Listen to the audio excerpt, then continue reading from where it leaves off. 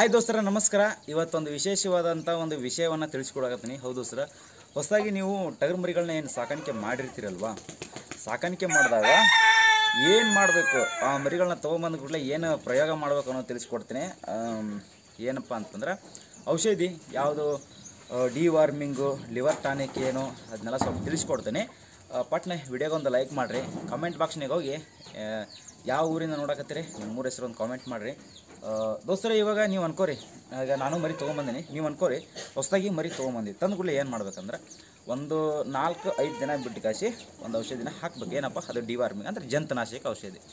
ಜಂತನಾಶಕ ಔಷಧಿ ಹಾಕಿ ಎರಡು ದಿನಗಳಾದ ಮೇಲೆ ಲಿವರ್ ಟಾನಿಕ್ ಹಾಕಬೇಕು. ನಾನು ಯಾವ್ದು ಹಾಕ್ತೀನಿ, ಏನಂತೇಳಿ ಎಲ್ಲ ತೋರಿಸ್ತೀನಿ. ಬರಿ ದೋಸ್ತರೆ, ಇಲ್ಲಿ ನೋಡ್ರಿ, ನಮ್ಮ ಮರಿಗಳಿಗೆ ನಾನಿವಾಗ ಡಿ ವಾರ್ಮಿಂಗ್ ಡಿ ವಾರ್ಮಿಂಗ್ ಯಾವ್ದು ಹಾಕ್ತೀನಿ ಅಂತಂದ್ರೆ, ಇಲ್ಲಿ ನೋಡ್ರಿ ಇದನ್ನು ಹಾಕ್ತೀನಿ. ಇದನ್ನು ಹಾಕೋದ್ರಿಂದ ಏನು ಲಾಭ ಅಂತಾರೆ, ಯಾವುದೇ ರೋಗಗಳಿರಲಿ ಸುಂಬಳ, ಕೆಮ್ಮು, ಜ್ವರ ಇತ್ಯಾದಿ ಏನಿದ್ರು ಕೂಡ ರಿಮೂವ್ ಆಗುತ್ತೆ ಅಂತೇಳಿ ಮೆಡಿಕಲ್ನವ್ರು ಹೇಳ್ಯಾರ. ಓಕೆ ಇದನ್ನೊಂದು ಜಂತನಾಶಕ ಅಂತಲೂ ಹೇಳ್ಬೋದು. ಡೋಸೇಜ್ ಕೂಡ ಇಲ್ಲ ಬರ್ದಾರ. ನೋಡ್ರಿ ಜಂತುನಾಶಕ ಇದು. ಓಕೆ ಡೋಸೇಜ್ ಬರ್ದಾರ ಯಾವ್ದು ಎಷ್ಟು ಫೋರ್ ಡಾಗ್ಸ್ ನಾಯಿಗಳಿಗೆ ಮೂರು M L ten K G between by overall okay next dosage goat and ಇದು ನೋಡಿದಾಗ ಅದು ಕೂಡ ಮೂರು M L ten K G ಬರುತ್ತೆ. ಓಕೆನಾ ಇಲ್ಲ ಆಮೇಲೆಲ್ಲ ನೋಡ್ಕೊ ಏನೇನೋ ಎಲ್ಲ ಮಿಕ್ಸ್ ಮಾಡಿ ಎಲ್ಲ ತೋರಿಸಿರ್ತಾರೆಲ್ಲ ನೋಡ್ಕೊರಿ. ನಮಗೂ ಅಷ್ಟೊಂದು ಬರೋಂಗಿಲ್ಲ.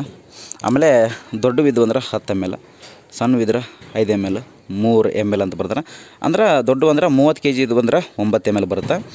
ಆಮೇಲೆ ಇಪ್ಪತ್ತು ಕೆ ಜಿ ಇದು ಅಂದ್ರೆ ಆರು ಎಂ ಎಲ್ ಹತ್ತು ಕೆ ಜಿ ಇದ್ರೆ ಮೂರು ಎಂ ಎಲ್ ಜಂತುನಾಶಕ, ಏನೇ ಕಾಯಿಲೆ ಇದ್ರೂ ಕೂಡ ಹೋಗ್ತಾವೆ ಅಂತ ಹೇಳ್ಯಾರ.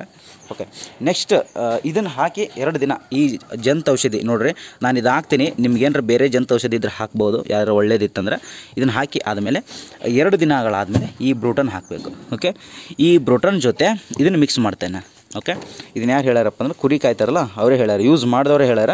ಬೆಸ್ಟ್ ಅಂತ ಹೇಳಿ ನೋಡ್ರಿ, ಇದ್ರ ಕೂಡ ನೋಡ್ಬೋದು ಇಲ್ಲಿ ಅಕ್ಕಿಗಳಿಗೆ ಕೂಡ ಬರುತ್ತೆ. ಆಮೇಲೆ ಎಲ್ಲದಕ್ಕೂ ಬರುತ್ತಿದೆ. ಇದನ್ನು ಕುರಿಗಳಿಗೆ ಕೂಡ ಕೊಟ್ಟರೆ ಇದನ್ನು ಇದ್ರ ಜೊತೆ ಮಿಕ್ಸ್ ಮಾಡಿ ಓಕೆ ಮಿಕ್ಸ್ ಹೆಂಗಪ್ಪ ಅಂತಂದ್ರೆ ಫಸ್ಟು ಇದನ್ನು ಓಪನ್ ಮಾಡಿ,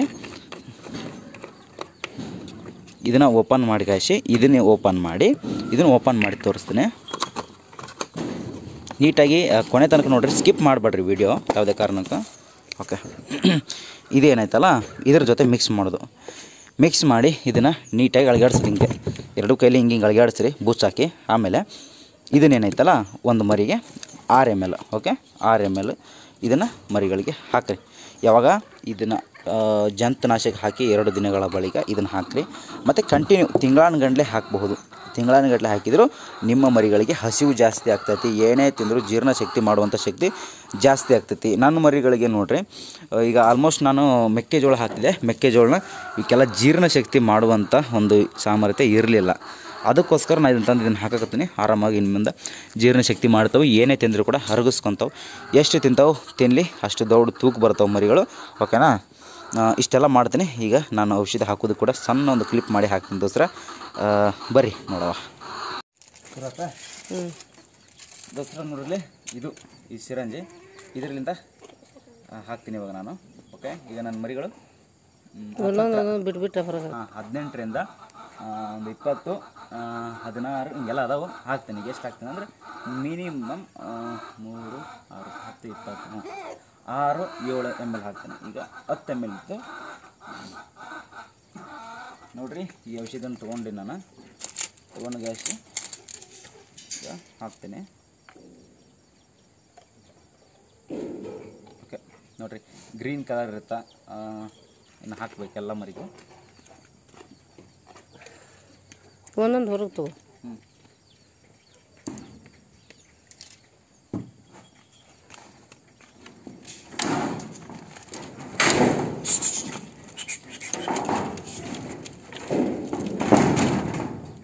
ದೋಸ್ತರ, ಈ ಮರಿ ಇಲ್ಲ ಅಂದರೂ ಕೂಡ ಒಂದು ಇಪ್ಪತ್ತು ಕೆ ಜಿ ಬರ್ತದೆ ದೋಸ್ತ ಇಪ್ಪತ್ತರ ಮೇಲೆ ಬರ್ತದೆ.